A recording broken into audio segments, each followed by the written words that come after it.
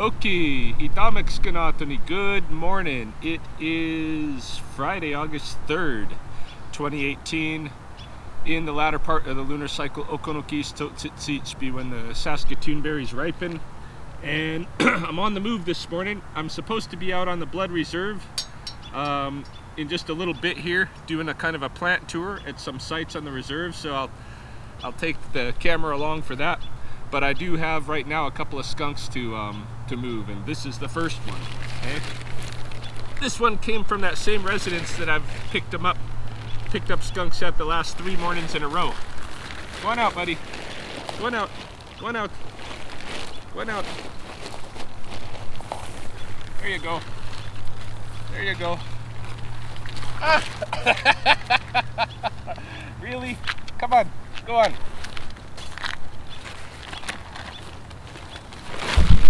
Oh, he's so mean. He's so, oh, there he goes, squirting out the side, over his shoulder. He's got the skills. Go on. Yeah, go on.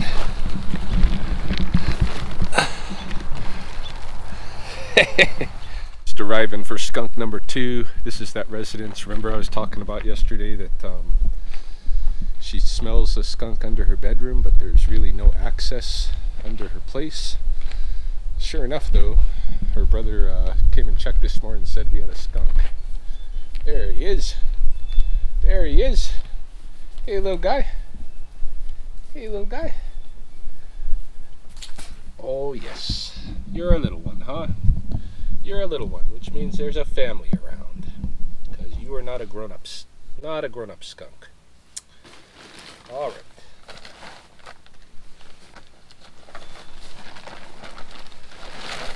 Oh yes, I know you're gonna spray me. You're gonna spray me. Oh my goodness, that was a big spray.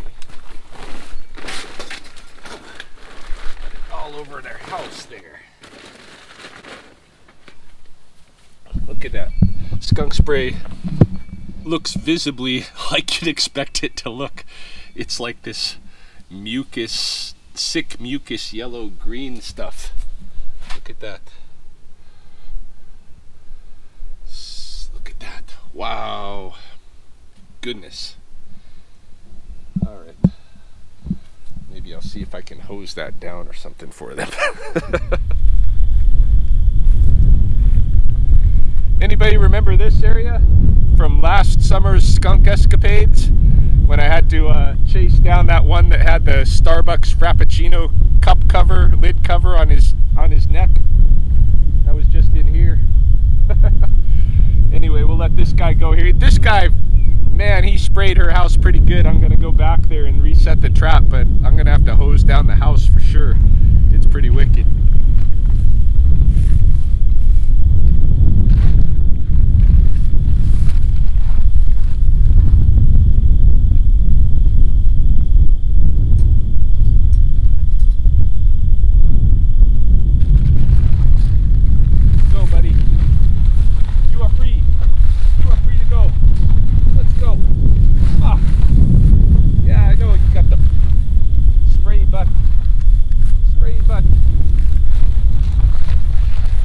Haven't figured out yet when skunks run out of that out of that musk. as far as I know, they don't run out. That all these stories about skunks that you know once they spray they gotta like they gotta regenerate some spray um, or that they can't spray you when they're facing forward or that they can't spray you when they're in the in the trap all that stuff that you see on the online about skunks is BS these people are putting shit out there you know, online for people to reference about how to trap and work with skunks, and they obviously never worked with them themselves. it's crazy. Anyway, that's skunk number two. Now we gotta gas up and head out to the reserve.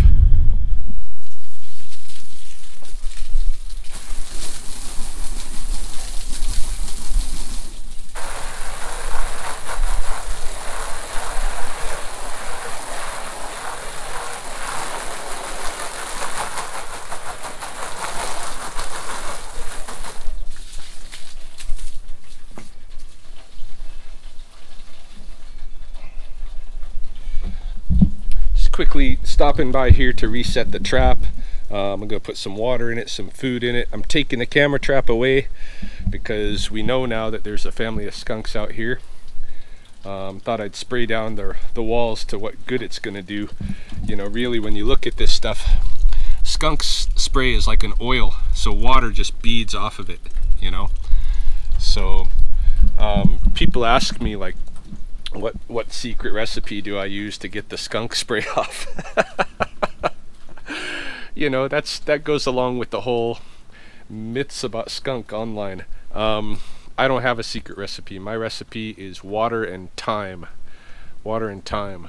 And uh, it does go away, but it takes a takes a day or two. It's not that long, and it's not that bad. People blow it out of proportion, you know, and they go out and buy a, a bunch of stuff to try to get the skunk spray off immediately, and it doesn't work. Doesn't work. Uh, you just need to give it its time. So there you go, some lessons about skunks, the reality of skunks. Now let's head out to the Blood Indian Reserve.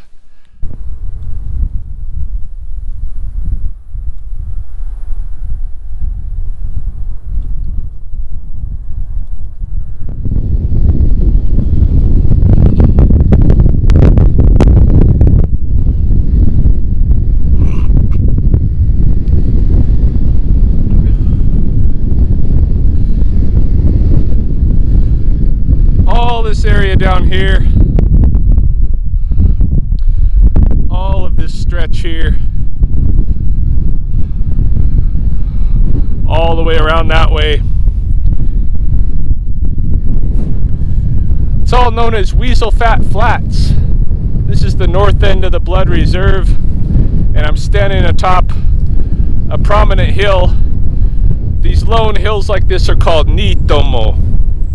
And um, this one on Weasel Fat Flats, I heard that at least in the 1800s when things were pretty hectic out here, I heard that uh, Blood Tribe would put heads on stakes out here, human heads of enemies, you know, to warn everybody off. Don't come out here. But it's a place for offerings, to make offerings, and we're going to go look at a medicine wheel down here on the flats um, that marks the, the death lodge of uh, many spotted horses, otherwise known as heavy shields. You can see people have left offerings here. This is somebody's jacket. I, I made a big offering here. I did a sweat with my Kainai study students down in the forest down there. And then the offering that we made with that sweat, I brought it up here I have no idea if you're going to hear any of this stuff with the wind. I thought I'd drop, drive up here to see if the offering was still around. It's been years, you know, six, seven years at least. And I'm not finding any remains of it. It was one of my old uh, Kainai Studies promotional jackets that I made my offering with. But there's other offerings up here you know, this is one of those places that people still come with their prayers and all of that. You can see here. This is a classic, classic big Blackfoot offering. You know, you got the, you got the sun.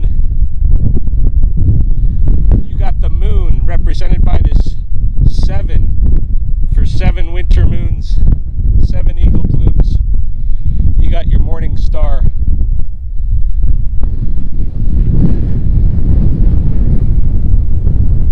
So yeah, let's go down here on the flats and we'll go look at the um, we'll go look at the many spotted horses medicine wheel. That's the hill we were just on top of. And this compound here marks the, or encloses, the many spotted horse's medicine wheel. Now, I'm not a fan at all of this chain link barbed wire fencing crap around um, these kind of sites. You know, I've traveled a bit, and when I was in Scotland and England, what really impressed me was their sites, their old sacred sites like this, their stone sites, um, did not have any of this fencing stuff that's supposed to be for protection. You know, I think the reason that this goes up, well, I know that the reason that this goes up is because people worry about someone coming out and vandalizing the site. But I think this draws attention to the site and it and it just the aesthetics is just ridiculous. You know, it just it just makes it look ugly. That's not how this place should be. It should be wide open. And I saw um, ancient stone sites in the UK right in the middle of neighborhoods, in their neighborhood parks and stuff like that. Wasn't molested because it was presented in a different way. It wasn't presented like this. I think this tempts people. I think this uh, this this just speaks to having no confidence in the humans um, to respect the place. Whereas if you did a little bit of public education, you wouldn't need this fence. People would take pride in having this out here. So I'm waiting for my group to show up. Um, this is the many spotted horses medicine wheel here. I don't know if you can appreciate what we're looking at here, but there's a large circle, a large stone circle here, and there are lines radiating off, radiating off, radiating off, radiating off. So there's four lines. So it's it's like a, you know, it's the classic kind of medicine wheel. Um, but what this what this is, you know, to me, from what I know of of uh, from the Blackfoot tradition, and you would you would probably hear different from others. You know, some people will say that these lines represent ways that many spotted horses traveled and this kind of thing. But to me, this is a classic kind of medicine wheel design, and it represents the sun, the moon in the in the crossing. In the crossing, you get a you get in the in the very first crossing, you get a halving of the sun, right? You get two halves, two crescents, and then with the other crossing, you get the morning star. So to me, it's the sun and moon and morning star. But this circle itself is the is the death lodge of many spotted horses, who was a very famous blood tribe kind of uh, chief. The turn of the century. He's also known as Heavy Shields. In fact, today the family pretty much carries that name, Heavy Shields. A lot of people still come out here to make offerings. Um, many spotted horses was famous for a lot of things. Uh, but but primarily his wealth. You know, the reason he's called many spotted horses because he had a lot of pinto horses, upward of 300 pinto horses um, at the at around the 1850s to 1870s. This guy killed 10 people in his life in his lifetime, and two of them he killed at the same time. They were riding uh, double on a horse, and he came up on them with a club and knocked them off either side of the horse, uh, braining them, killing them. And for that deed, he was able to have a 30 hide, 30 buffalo hide teepee, which means a teepee that's made of 30 buffalo hides is huge. It takes two horses fully committed just to haul it from camp to camp. Um, many spotted horses had 10 wives, 31 children at the time of the signing of Treaty uh, 7 in 1877. He also signed the 1855 Lame Bull Treaty with the United States. And he just he's just very famous, a, a, a warrior of the Blood tribe. This is where he was laid to rest, and um, this is the monument to his life. So I think my class is showing up here pretty soon. And um, I just wanted to say a few things about this place before they get there because I probably won't videotape my my own discussion with them about this place, which will add a little bit more.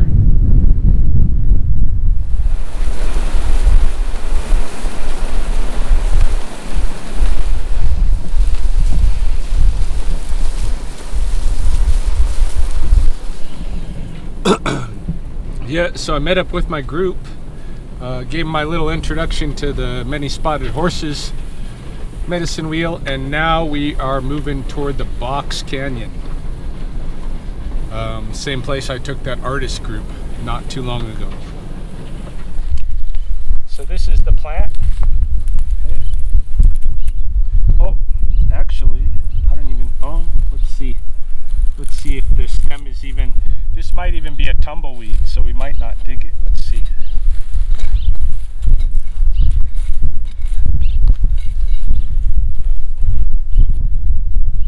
Oh no, I think the base is right here. All right, so this is a this might be a good example.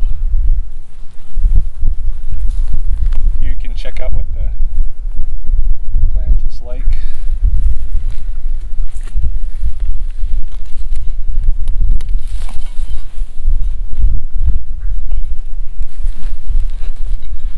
Now someone, you know, in the past, this is your main source of carbohydrates right? So you you got to dig hundreds of these to last through the year per family, you know.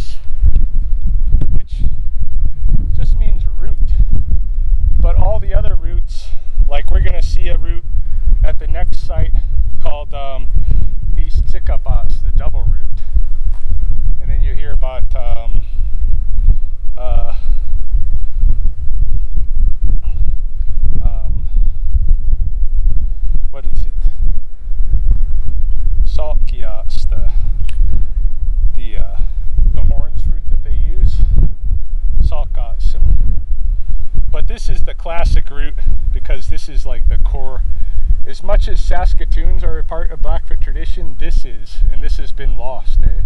Everybody's turned to potatoes. It's, it's not. It's not surprising that the potato farm is on the same strip of land. so this has a, a kind of a skin to it. and you can peel that skin off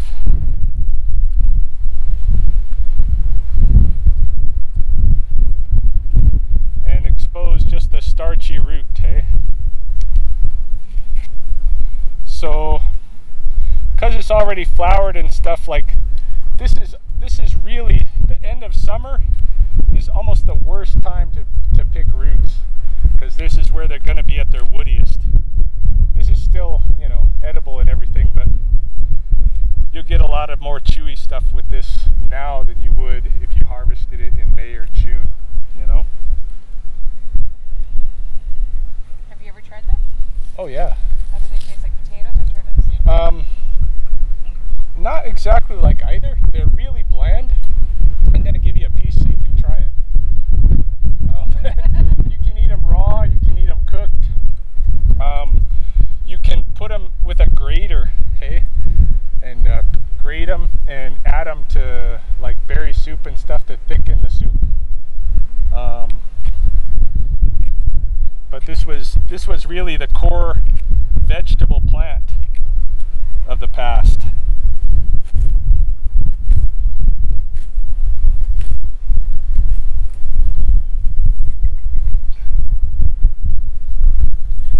For a try.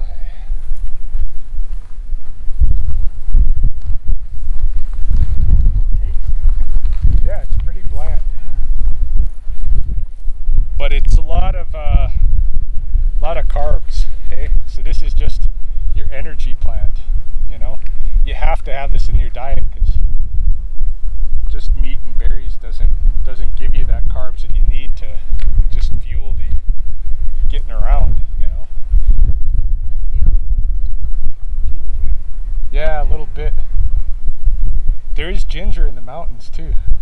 Yeah. Now in the springtime, April, May, even in March, if it's thawed out, this is a big waterfall here. Yeah. Yeah, it's really cool. I go down there underneath and, you know, like a hippie, take a bath in the waterfall. yeah, there's owl nests. There's usually some falcon nests in the canyon here. Nice and the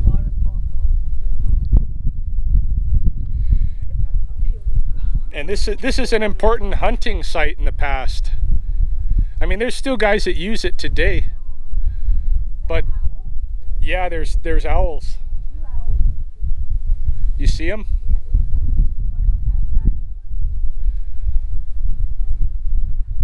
They're down in the tree. Yeah, it's the kind of place where you can kind of get a group together and herd the bison and stuff into this canyon and they're stuck, you know. The ground is pretty hard in the summer. Yeah, it's got a carroty, nutty kind of thing to it.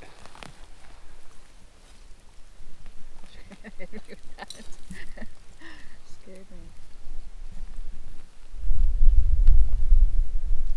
Oh, you got one. There you go. Go try. Get a nice big one. Is it these ones? Yep. Yeah, that one's. Yeah, there's no shortage in this area to choose from.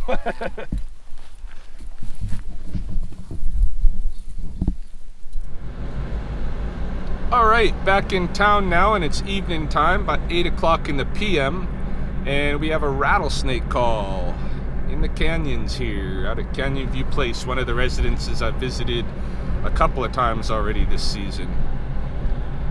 So sounds like the snake is moving from the residence, from the yard, maybe across the street into the manicured park.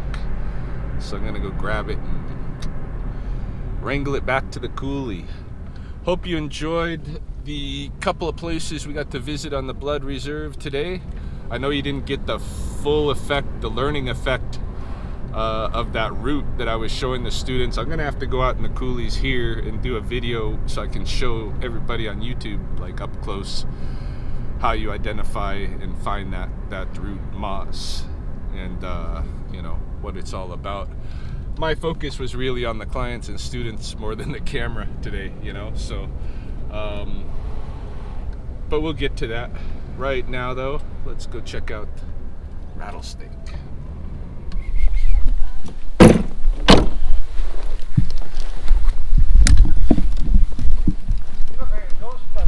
Yeah.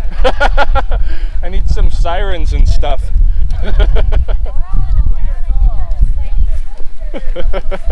Isn't on?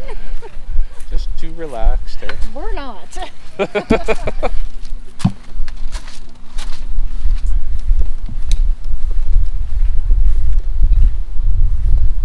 It's right, Right in the right, bush. right on the edge of that bush there. Right. Video set up Oh yeah. here before, so Do I need to sign a waiver? Am I going to be on TV or? You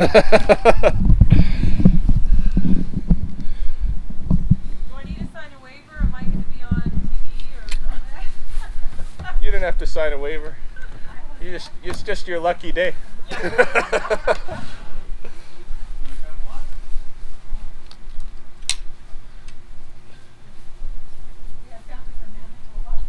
We saw it move. It moves pretty fast when it wants to. Oh yeah. Hello.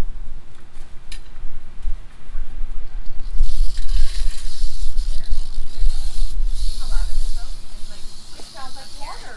Like, it sounded like that. Yeah. Oh my gosh. Wait, his mom's coming. You have to wait. She hasn't seen a rattlesnake ever. Oh, strike. Yeah. She, she'll, she'll see, see him in the box. Hold on. I'll bring it out there for you to check it out. So where do you put it back? To the winter dens. Yeah, over there, right? Um, pretty much. A little ways down the coulee. Listen to it. Oh, wow.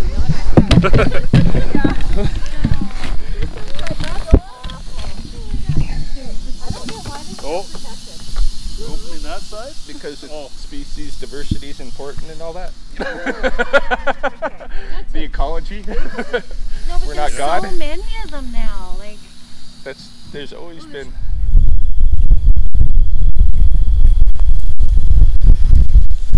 All right. Unfortunately, I didn't have, I didn't grab bucket cam when I left the house, so we have no bucket cam. But it's a big female, and uh, oh, cool. We're fortunate too. Moss, the root that I was showing my students, is right here. so here you go. This is how to identify it. Five petal palmate leaf. If it's got seven, if it's got nine, it's not right. It's usually when it's, you know, when the plant's at its best stage, this is nice green. They got these flowers that are kind of like clover flowers. And as you can see, the stem breaks off. That's why I was telling the students. This time of year, the stem breaks off from the from the root and becomes a tumbleweed. So it's really hard to find the roots this time of year. You really got to get at them earlier. But this is a this is the core vegetable food like um, like potatoes for the blackfoot. There's also a wild carrot. I was showing the students today too, but we don't have that in Lethbridge, so I can't show you that one. Anyway, let's get this big girl out of here.